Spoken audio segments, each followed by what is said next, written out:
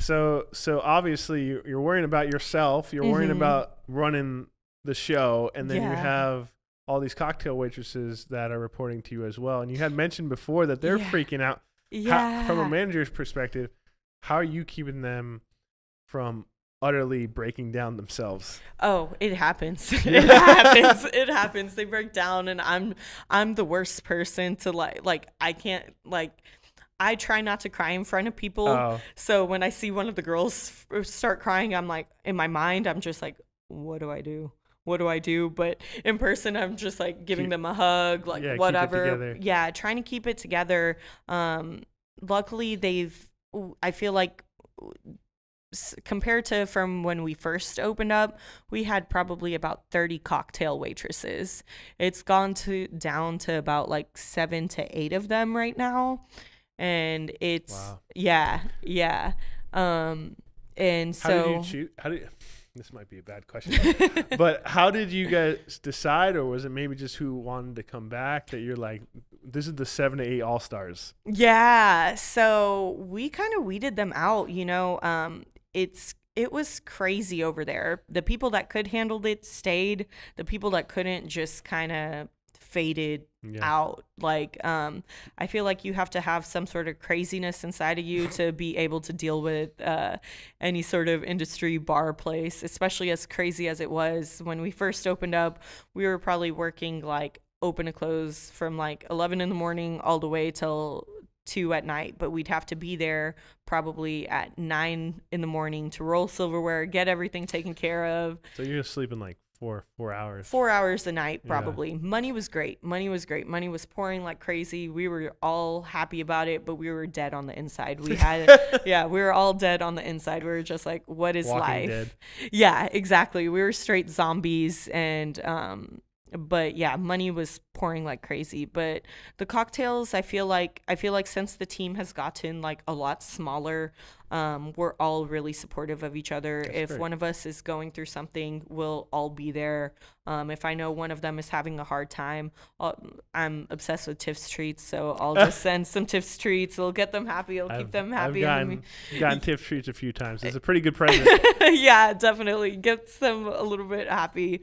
Um, you know, but they understood like, you know, we can't go go drink, we can't do this, we can't, you know, spend our money like we used to. So I think the second time around they handled it I think everyone handled it a lot better versus whenever it first happened. First time I just felt so bad cuz it was like it's out of my control. I can't I don't even know how to make you feel better. Yeah. Um but, but yeah. you kept a good face on. Yeah, I definitely had a good face. Luckily, most of it was through messages, so they didn't have to see my face. but yeah, um, yeah, they they're definitely some troopers for sure. Um, but we switched over to a restaurant in at the end of July, and Yeah, how did that? So I haven't really been following those exact procedures that need to happen. I know for a Mhm. fact you have to, or at least I don't know for a fact, but I assumed you have to refile with the state. Correct. Yeah, you have to get a restaurant license, and I don't I don't know the ins and outs of that. Um, Sean, uh, the owner takes care of it. Um, and we opened up as a restaurant, and um, once we got the license and everything for it, we opened back up. We had no idea because who was going to be the hostess because we, you know, it was just like all we had is door guy check an ID. They Yeah. go wherever we, we had to do a hostess, a drink runner. Um, the bartenders became servers practically because we didn't need as many bartenders. Right? Yeah. Who's becoming the servers? Because it really is only bartenders and Yeah, there, we only need like one or two bartenders now, pretty much making the drinks because no one's going to the bar anymore. So the bartenders are now becoming servers, and some of them have had server bartender experience, which is great. Some of them haven't. So we're hi- we're a high volume bar or restaurant, and so um, Taught yourself. yeah. um, so um, some of them ha- it's an adjustment for them to kind of learn how to, you know, pick up a little bit faster in terms of going to every single table versus them being behind the bar, making the drinks, putting in the food orders. They it's a completely different Yeah. like um atmosphere for sure. Um, we have drink runners now. We didn't have drink runners before. Um, we don't have as many servers on the floor because it is a tip share now versus Right. the cocktails making their own money because you know we would have to tip out the bartenders a higher percentage if we were to um, just make our own money.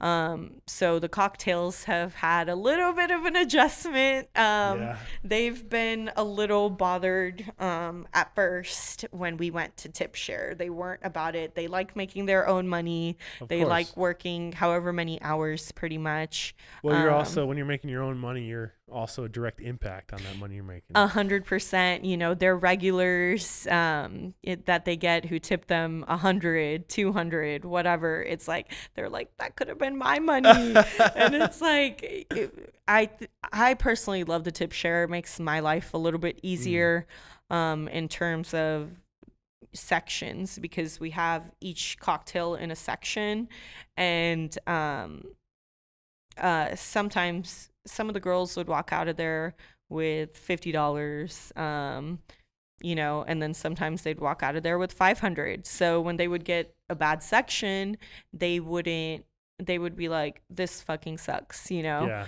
but now with tip share it's like everyone it's gonna be on the same playing field. yeah, exactly. But now we have to shorten hours and things like that. So, um, that's been a little bit of an adjustment for cocktails who are used to working doubles or used to working, you know, however many hours they want to because it's their money. Right. yeah. So that's probably been um, definitely There a lot of complaints about that, or uh, yes and no. I feel like the first week we opened up, it was chaos, complete chaos. Um, uh, the cocktails, all of them, I think, complained about it. Um, and we kind of had to have like a few uh, staff meetings because there were issues going wrong with tip share everything so we were trying to smooth things out i think now um, everyone is on the same page and um, the one thing I like about it is they hold each other accountable. So Oh, it's like